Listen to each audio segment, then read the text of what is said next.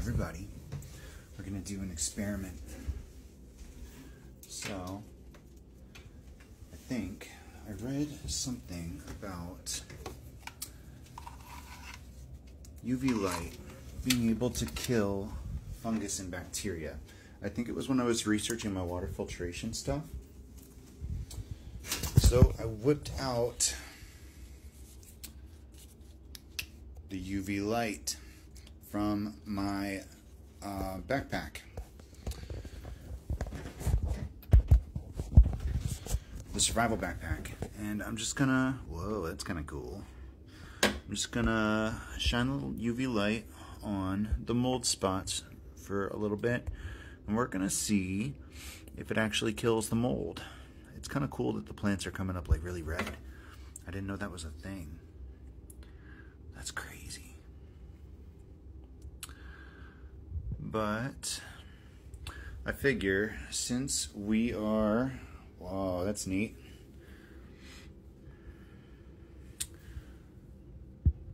The roses, that's pretty cool. Anyway, back to the mold. Um, hopefully, this will kill the area where the fungus gnats are living and feeding. Fingers crossed. It like breaks down the cellular cellular DNA of the the mold and the parasites and the viruses and bacteria and all that stuff. But I feel like I should clarify after you know the video that I put up with um, a duet with Ray Bans. My opinion isn't that we don't need a structure or government or anything like that. It's not anarchistic. That is not at all what I think we need.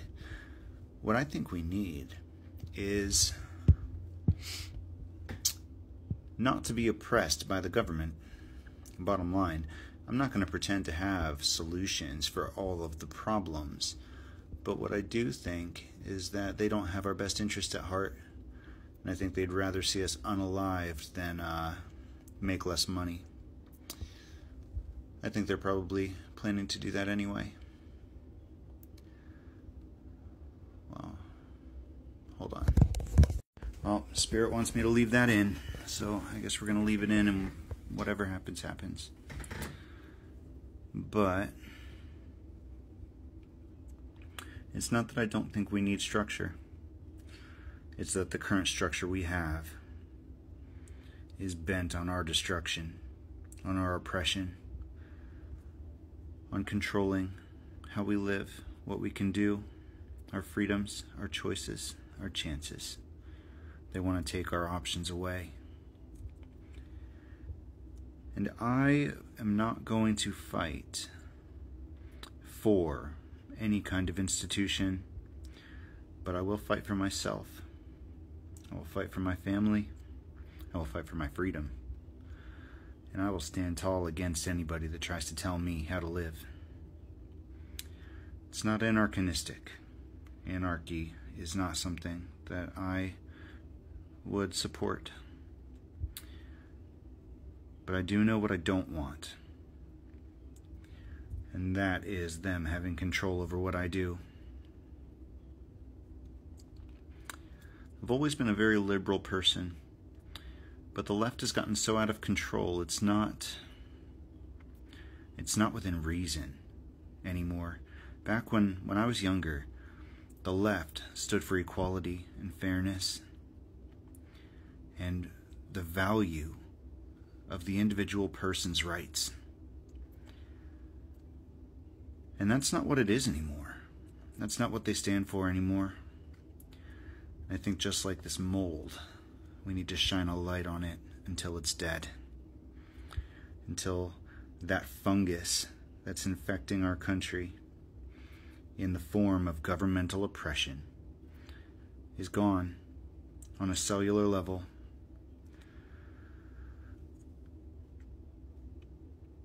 It only takes a couple minutes for the, the UV flashlight to to eradicate the negative things from the soil or the water or whatever it's being shined on.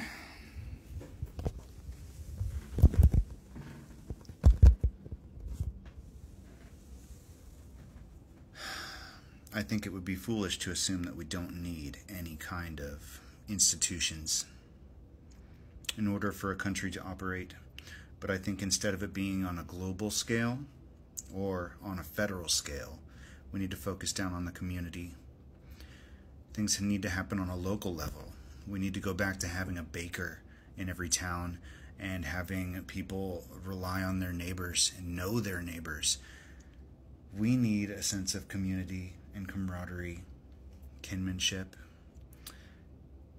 And they've taken that away from us time and time again. They don't want us to know each other. They don't want us to talk to each other. They don't want us to discuss issues. They would so much rather, what's, what's that thing I've heard? Remove the ballot box rather than read the complaints. We need to understand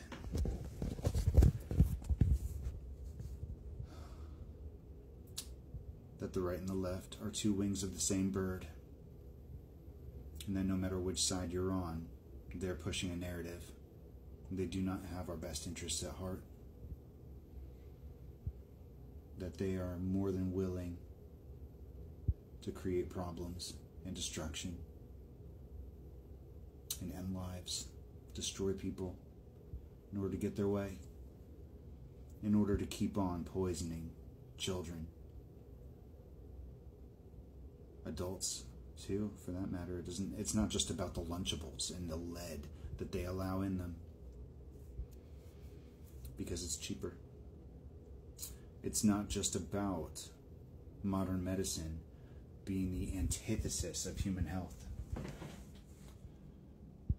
It's not just about freedom of religion or spirituality and them not having a say in what we do and do not believe or practice. It is about the fact that they want to treat us like cattle and take away our ability to even have a problem with that and brainwash us into thinking that that's actually something we want. They don't want us to think for ourselves. They don't want us to have an opinion.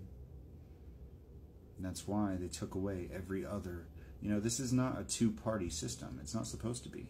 There's supposed to be a hundred other groups that can express their ideals and have people join them and maybe have a shot at getting into office.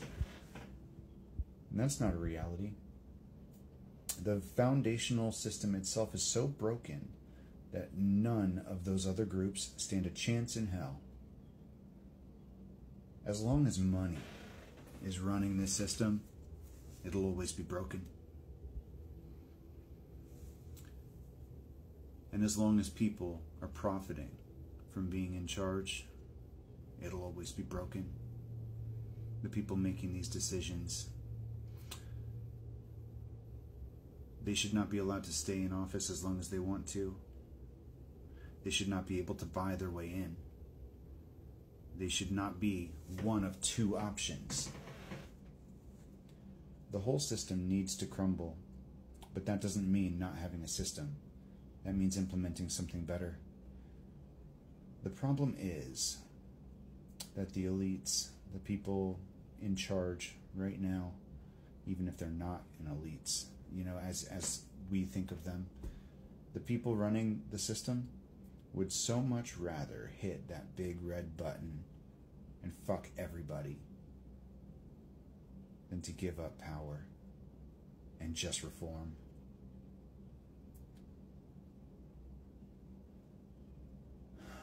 So we fight that with love and with magic. Spirit has made it very clear where they stand on this. What will be is what Spirit intends. Spirit wants reform.